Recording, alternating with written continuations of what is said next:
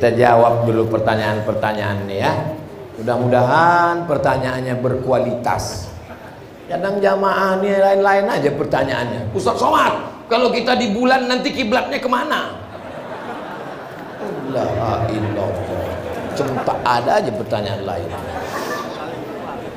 Bagaimana tindakan kita terhadap anak-anak yang luar biasa bisiknya ketika sholat di masjid sehingga mengganggu kehusuan kita dalam beribadah. Sudah dinasehati tak juga. Bagaimana Pak Ustadz seminggu yang lalu saya dapat kiriman video.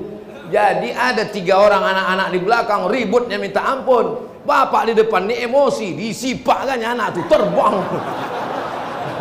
Saya menengok mak bapak ni pemain taekwondo nampaknya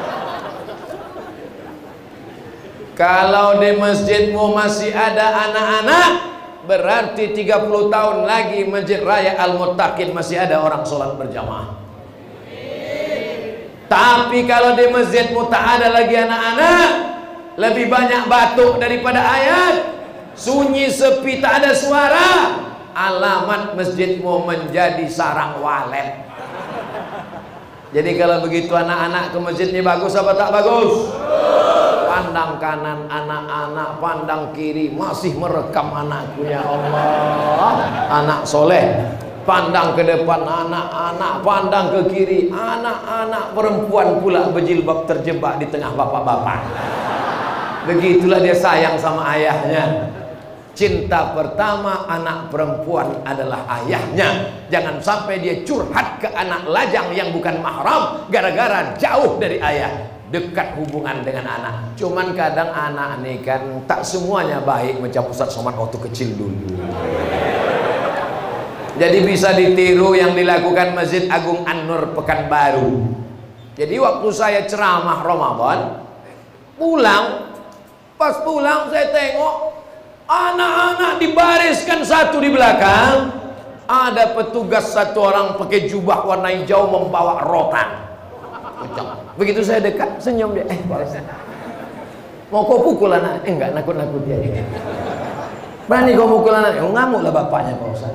Ah, jadi silakan anak-anak di belakang, tapi ada satu petugas supaya anak-anaknya di ya, angkat satu petugas. Nanti petugas ini sholatnya belakangan pas sudah di ujung-ujung masbuk dia atau dibuatkan sholat khusus untuk dia berjamaah dengan jamaah yang lain sama macam petugas penjaga imam di Masjidil Haram Tuh, karena takut imam ditikam orang dari belakang. Nikam tak banyak yang mau selfie nih yang banyak.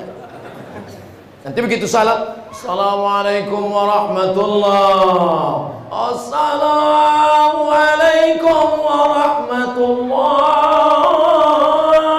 Mereka pun pergi sholat tetap dapat pahala berjamaah. Apakah boleh anak-anak kecil ini diselipkan di tengah sop bapak-bapak supaya anak ini diam anak-anak memutus sop tapi dia tidak memutus sop kalau cukup tiga syarat yang pertama ujung senapang angin sudah berpotong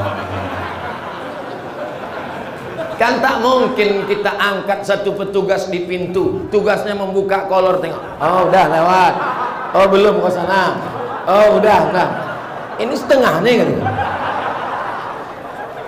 Anak saya Sami di Hitan hari ke-8 pakai program namanya Sunatron. Ada namanya orang Riau Waatan. Waatan ini terkenal di Malaysia. Dia punya program namanya Sunatron. Dia tak ingin cuma orang Malaysia dapat nikmat. Dibawanya lah ke Riau ke Indonesia. Akhirnya dibuatlah khitan gratis setiap Jumat 99 orang. Bintang iklannya saya punya tak mungkin saya dipotong sekali lagi potongan lama aja hampir habis jadi selalu saya buatkan iklannya anda takut berkhitan anda takut lama sembuh? Berhitanlah pakai sunatron. Pagi hitan, sore bisa akad. Untuk yang mu'alaf. Jadi kadang orang ini takut masuk Islam karena ustadz ini berceramah menakutkan. Yang pertama berhitan Nabi Ibrahim umurnya 80 tahun dipotong pakai kampak. Tak jadilah mualaf. Padahal pakai sunatron ini tak terasa. Nanti saya bawakan.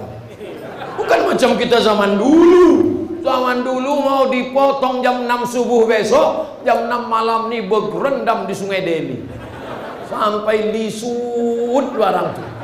Nah, besok barulah diambil sembilu bambu. Oh, tuh. Rupanya bapak nih baru pertama kali percobaan. Habis. Jadi anak-anak tidak memutus sob kalau dia sudah berkhitan karena tak ada najis di ujung pistol. Yang kedua, anak-anak ini memutus sob karena wuduknya tak sem. Saya perhatikan tuh anak-anak lewat saya di MDA, dibukanya keran, diambilnya air. Hah. Dibukanya keran, ah sifat-sifatnya. Air tuh sampai kemari, nah. Kelingking nih masuk kemari. Ha ha ha. Kalau ini ini ha ini bagian dalam telinga ini luar. Ha ha ha ha. Begitu. Ini sekarang enggak ambil ha. Yang ketiga anak ini tidak memutus sholat kalau dia tahu rukun syarat sholat. Sebab kalau dia tak tahu rukun syarat wajib sunat makruh. Kaifiat sholat bisa memutus sholat itulah maka jalan keluarnya kata Syekh Atiyah Sokar anak-anak dikhawatirkan tiga maka dibuatkan satu sholat khusus di belah. Fungsi anak dibuat di belakang menjadi batas antara laki-laki dewasa dengan perempuan deh karena kalau tak ada anak-anak pembatasnya, langsung berjumpa sop belakang dengan ibu-ibu di belakang. Pas pula yang sop belakangnya anak-anak muda. Di belakangnya anak gadis. Lain bunyi aminnya. Wailil maghdubi alaihim. Amin.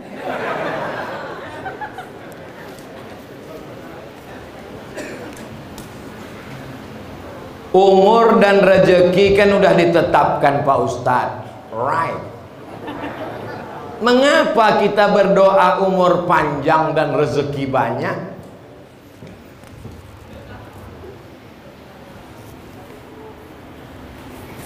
Air minum Ainikua 600 ml sudah ditetapkan di Lauhil Mahfuz 600 ml bisa ditambah jadi 700 tak bisa ditambah Lalu apanya yang bertambah? Barokahnya. Ada isinya 600, isinya air putih. Harganya berapa harga ini kuah? Hah? 4000 karena sudah lama berkawan 3500 lah. Tapi kalau diisi dengan madu jadi 100 ribu. Kalau diisi air susu kuda liar berapa ongkos pesawat ke Bima sana? Jadi yang bertambah itu adalah isinya. Ada orang umurnya 40 tahun. Tak ada isinya. Rumah warung kopi, mabuk, sakau, gaplek, mati. Ada orang umurnya 17 tahun. Hafal Quran, hafal hadis, pondok pesantren, berbakti pada orang tua. Paham? Itu jawaban Abdul Somad akal-akalan, bukan. Itu jawaban Syekh Muhammad Mutawalli Asy-Sya'rawi dalam kitab Al-Fatawa Al-Kubra. Dua jawaban dia. Jawaban yang pertama, umur tak bertambah. Yang bertambah itu barokah isinya. Yang kedua, memang bisa bertambah. Kenapa? La yaruddul qada illa du'a. Tidak ada yang bisa merubah takdir kecuali do doa. Lalu kemudian apa lagi dalilnya? Yam'allahu ma yasha wa yusbit. Allah Maha Kuasa untuk menghapus takdir. Allah Maha Kuasa untuk membiarkan takdir. Wa indahu ummul kitab. Karena yang punya lauhul mahfuz itu Allah. Innama amruhu idza arada syai'an ayakula lahu kun. Jadi kalau orang paham Ahlussunnah wal Jamaah dia tetap berdoa. Ini banyak orang sekarang tak mau berdoa. Assalamualaikum warahmatullahi Assalamualaikum warahmatullahi Pas ditanya, kau kenapa tak berdoa? Semua sudah ditetapkan Allah. Nanti kalau ada laki ibu macam itu, ibu jangan marah, diam aja. Abang tak pergi kerja. Semua sudah ditetapkan Allah. Pas jam satu dia nanya, Deh, mana makan siang kita? Ah jawablah, semua sudah ditetapkan Allah bang. Mesti ada usaha, ikhtiar dan doa. Ini untuk saya semua pisang satu tandan ini. Eh, satu sisir pisang ini untuk saya, ini betul. Tapi bisa tak dia masuk ke mulut kalau tak ada usaha, ikhtiar dan doa? Mesti dibuka plastiknya, dibuka kulitnya, baru dibaca Bismillah, masuk baru dikunyah. Setelah itu, am yummy. Jelas? Kalau ada orang mengatakan ceramah Ustaz Somad itu tak jelas, dua gendangnya. Mikrofon itu tak jelas atau telinga dia poka. Seorang suami melarang istrinya mengurus orang tuanya, menantu celako. Yang sudah tua renta dengan alasan surga di bawah tapak kaki suami. Yang salah siapa? Yang salah mertua karena salah cari menantu. Idza ja'akum man tardawna dinahu kalau kau nikahkan anakmu dengan orang yang paham agama wa khuluquhu baik akhlaknya fazawijuhu nikahkan anakmu dengan dua orang sifat pertama paham agama yang kedua baik akhlak ini sekarang kalau datang meminang anaknya taman pesantren kampungan. Kalau datang minang anaknya SH terima. Kalau datang meminang anaknya SE ahlan wasahlan. Kalau datang menerima anaknya orang berduit kaya welcome. Kalau datang minang anaknya SAG, hmm, sarjana alam goib. Dia tak tahu bahwa dia akan tua. Dia tidak punya jabatan dia menjadi pengangguran akan terbaring. Menantu yang SAG inilah yang akan membisikkan ke istrinya. Jagalah ayah kau jagalah emak kau karena kau jumpa dengan aku sesudah kau umur 25 dialah yang melahirkanmu dialah yang membesarkanmu dialah yang menyekolahkanmu. Kalau menantu tahu agama takkan dibiarkannya mertuanya kalau emakmu sayang ke kau itu biasa nak. Kalau emakmu sayang ke kamu itu biasa nak. Tapi ada seorang perempuan mengandung anak gadis 9 bulan 10 hari menyusukan anak 2 tahun disekolahkannya. Setelah sekolah diserahkannya ke kau dengan hanya seperangkat alat sholat dan kitab suci Al-Quran. Itulah mertu sekarang banyak perempuan ini mau dibodohi.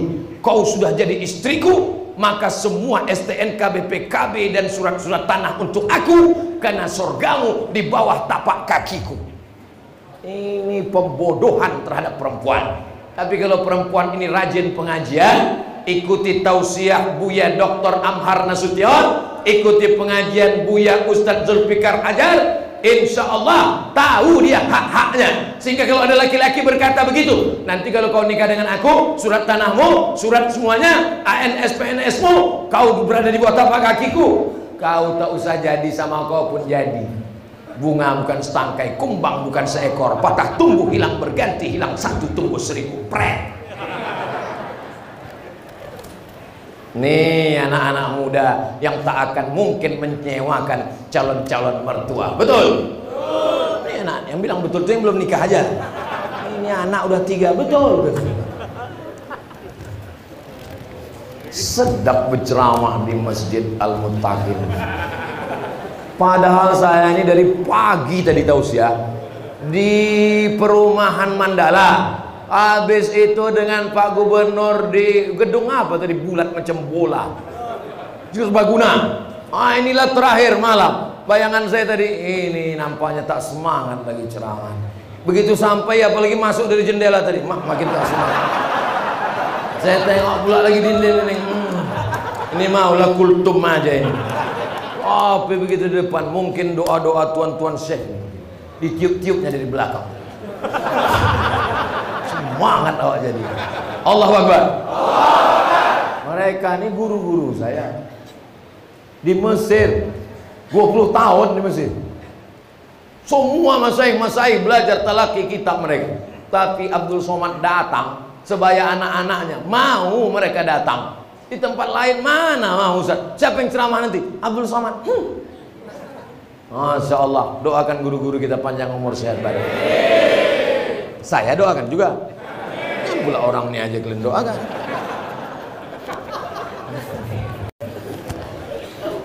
Saya di mana-mana ceramah tuh mata saya tajam, saya tengok jamaah itu berapa yang menguap.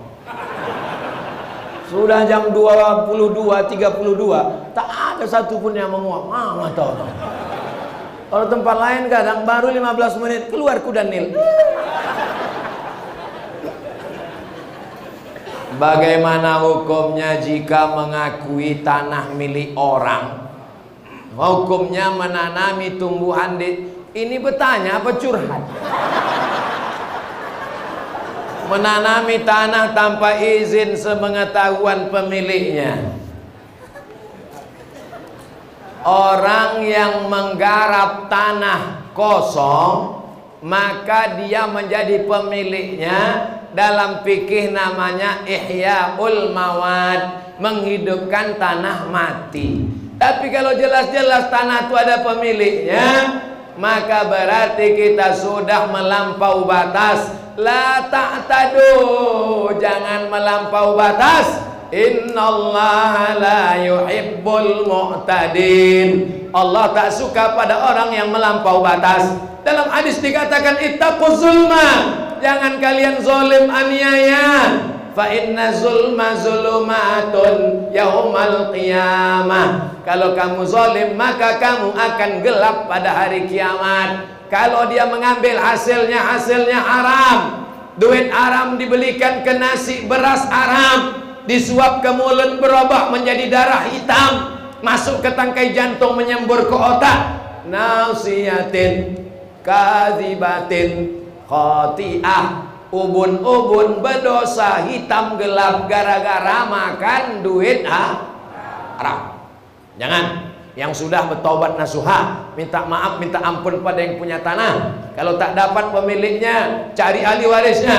Ahli warisnya tak jumpa maka balikkan hasilnya ke masalih ammah yang dinikmati orang banyak pondok pesantren. Salah satunya adalah Masjid Raya Al Muttaqin Kampung Surutu Desa Timbang Deli. Kertas terakhir. Setelah masjid ini dipugar banyak benda-benda wakaf yang tak dipakai. Ada yang berpendapat benda tersebut ditanam saja dan ada yang berpendapat benda tersebut dijual kemudian uangnya dimanfaatkan kembali. Pertanyaannya pendapat manakah yang paling tepat dan benar? Kalau dia batu semen yang tak bisa dipakai maka ditanam untuk menimbun lantai teras supaya tinggi ke atas. Karena yang namanya wakaf tidak boleh habis aku wakafkan lilin ini. Bisa? Tak bisa karena lilin kalau dibakar ha, habis. Wakaf tak boleh habis. Kalau habis itu namanya infak. Kalau tidak habis namanya wakaf. Kalau habis namanya infak. Kalau sodakoh sodakoh itu umum senyum pun sodakoh. Makanya jangan buat kotak sodakoh. Nanti orang nengok kotak itu senyum aja. Jelas jadi yang bisa ditanam, yang tak bisa dijual, ditanam di lantai masjid ini. Tapi seng, kalau dipakai nanti dua tahun bocor, tanya siapa yang bisa beli, duit hasil penjualannya itu dibelikan lagi ke barang yang tak habis. Semen. Ada orang kampung Serutuni mengunyah semen. Mana ada? Jelas. Jadi jawaban tadi bahwa ada yang ditanam, ada yang dijual hasilnya. Jangan hasilnya untuk biaya operasional listrik, tak boleh.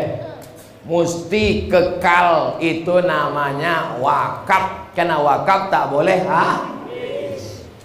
Dua, setelah benda yang diwakafkan itu tak terpakai, apakah pahala dari wakaf tersebut terputus kepada si pewakaf? Masjid Nabawi direnovasi oleh Utsman bin Affan radhiyallahu an. Lalu kemudian muncul sahabat. Bagaimana dengan tiang kurma yang kami wakaf dulu? Bagaimana dengan atap pelepah kurma yang tak terpakai?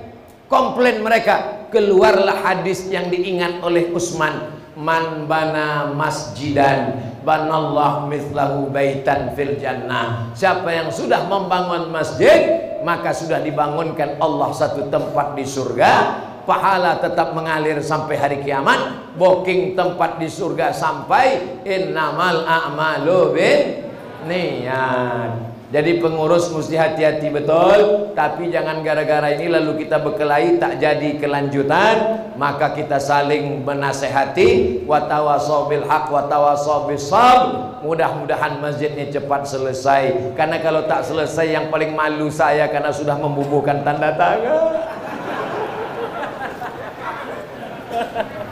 Mudah-mudahan yang hadir ini panjang umur sehat badan. Rezekinya melimpah ruah. Anaknya menjadi penghafal Quran. Mujahid fisabilillah keluarganya sakinah mawaddah warahmah. Yang belum nikah ditemukan jodoh yang baik-baik. Yang belum punya keturunan istrinya segala hamil dapat anak yang soleh istiqomah sampai mati menghadap Allah dalam keadaan la ilaha illallah Muhammadur Rasulullah. Al hazin untuk niat yang baik ini al-fatihah